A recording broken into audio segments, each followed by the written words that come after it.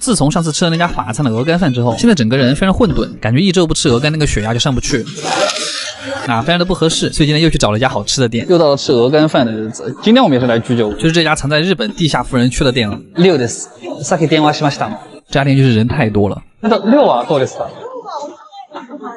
啊，加一つだけでいい。他のおすすめは。其实这种店在日本都算是比较高级的居酒屋了，就是各种奇怪的日本酒它都有。我们的小菜是一杯玉米布丁，它是一种又甜又咸的布丁味。还好第二道菜就是我今天特别喜欢的一道菜，鸡汤炖牛舌。它这个也是煮到你一咬就能下来，在嘴巴里一顶就能摊开的那种程度。这真的好大，再搭配着上面那一坨山葵酱。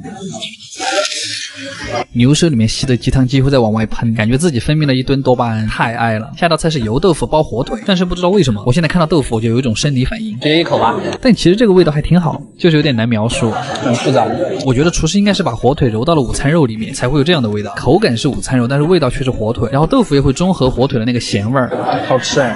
然后这个面也是我今天很喜欢的一个菜。妈呀，我发现我真的好花心，它是番茄香肠面，它那个酱里面还有一点百香果的味道，就非常的夏威夷。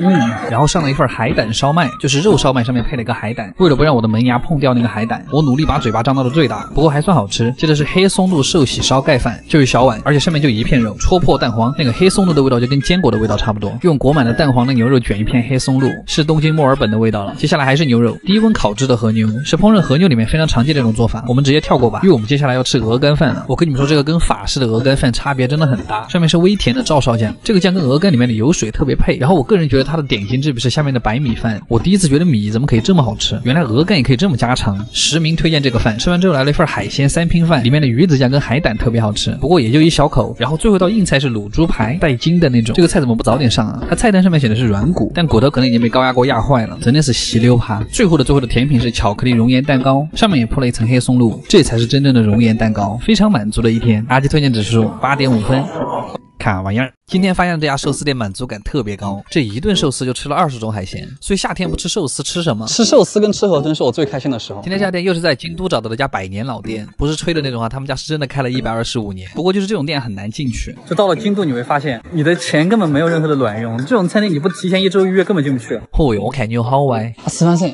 六です。啊。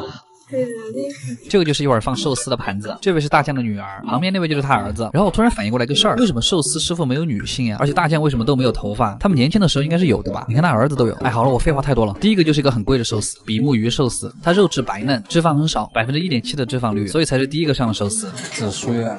第二个就是鲷鱼了，它上面切了很多刀，是要锁住酱油，所以这种店一般是不用碟子蘸酱油的，因为师傅会帮你全部调好。刚才这个还有点梅子酱，是酸甜口味的，然后是刺身，特别大一片，而下面的米饭只有一点点。师傅说寿司里的米就是为了衬托肉的鲜美而存在的。然后这个是今天的王牌之一，金棘鱼，是一种非常非常昂贵的深海鱼，它就是肉厚脂肪多，而且那个肉还很有嚼头，像一块脂肪口香糖，太有嚼劲了。接下来是竹荚鱼，日文读作阿吉，也是我的日文名。这个鱼一般是用来烧烤或者做鱼油罐头，是一种比较常见的鱼，所以现在相当于是我吃我自己。然后接下来这个才给力，龙。虾尾寿司，它是把龙虾尾对叠过来，中间夹了一小块米饭。如果这都不算爱，那您出门左转吧。哇，虾肉好多。鱼子寿司是我最讨厌的寿司之一，齁咸，可能是我吃不来吧。接下来又是很厉害的一种金棘鱼，头黑金棘鱼，就这个鱼更贵，应该算是寿司鱼类里面最好的一种。普通寿司店一般是没这个鱼的。上面那个是金棘鱼的肝，然后加了几根小嫩葱，这就是一个艺术品。金棘鱼的肝是茶味儿，肉质就是深海鱼独特的香嫩。好的，接下来是章鱼肉，又是一个锻炼咬肌的东西，跳过吧。哎，鲍鱼我就很喜欢了，脆嫩脆嫩的口感，这个我。可以吃十个，上面涂了一点酱油和柚子醋，特别的爽口。然后是盐海胆，就是吃进去的时候还有那个盐的颗粒感，加点盐会显得海胆更甜，好吃。然后是赤贝寿司，这口感特别丰富啊，就上面是脆的，下面是软嫩的。师傅在上面涂了一层甜甜的照烧酱。然后这个是毛蟹的肉，还是那个熟悉的味道，就是太小一口了。接下来是鳗鱼卷，它是把鳗鱼翻过来之后卷了一层米在里面，真的是一大片的鳗鱼。鳗鱼的腥味特别重，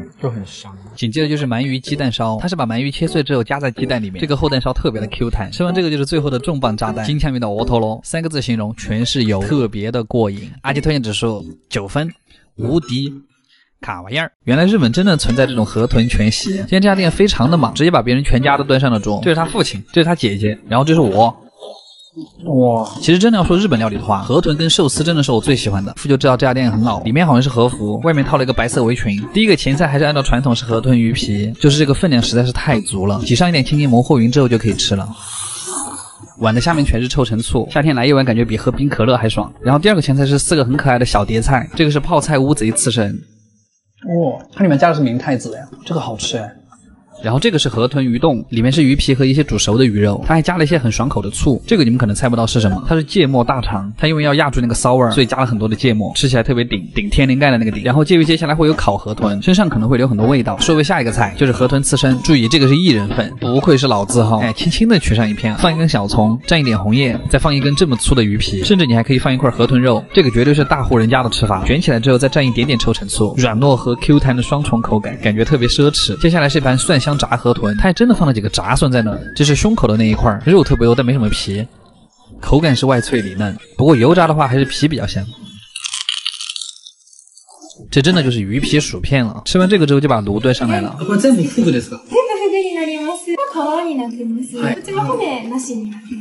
一只河豚身上真的会有这么多肉吗？我终于河豚自由了呀，姐妹们！先来一片没有骨头的，这个只能烤很短的时间，基本上第二面翻过来烤一下就可以了。你们看它卷起来的那个样子，现杀河豚就会有这样的效果。它上面是撒了一点调味辣椒粉，但它完全盖不住河豚肉的鲜味儿。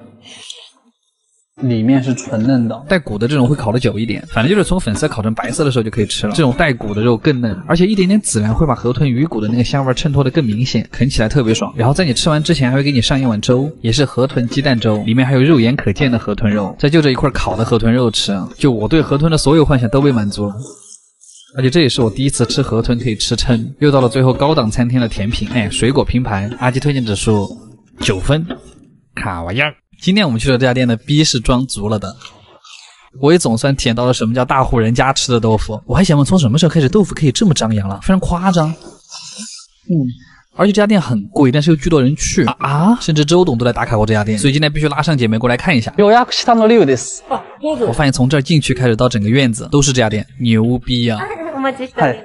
接着就是穿和服的姐姐会把你领到包间去，然后路上跟我讲了些我听不太懂的什么园林设计，走了半天才到我们的包间，然后就开始介绍今天的菜品。放眼望去，基本上就是各种菜配豆腐。第一个前菜就很精致，小姐姐也会跟你讲为什么会这么搭配。比方说这个杯子里面装的就是豆腐跟海胆，说是海胆可以衬托出豆腐的香醇啊。不过确定没有说反吗？这个吃起来一点都不像豆腐，它像蛋花儿，不过还挺好吃，主要还是海胆好吃。旁边是一坨红薯加一根炸虾，这个碗里面装的是葱、番茄和一片烤鱼，就越吃越饿。这个荷叶卷的东西更可爱，打开之后里面是一个三文鱼。鱼寿司还有一点叶子的香味，就特别的清新爽口。接下来上了一笼烤豆腐，这个的吃法也很简单，就是直接卷着葱吃就可以了。最开始是咸甜口味的酱汁，然后就是烤豆腐独特的那个油香，而且它里面还有一层薄薄的嫩的豆腐，所以吃起来很有层次感。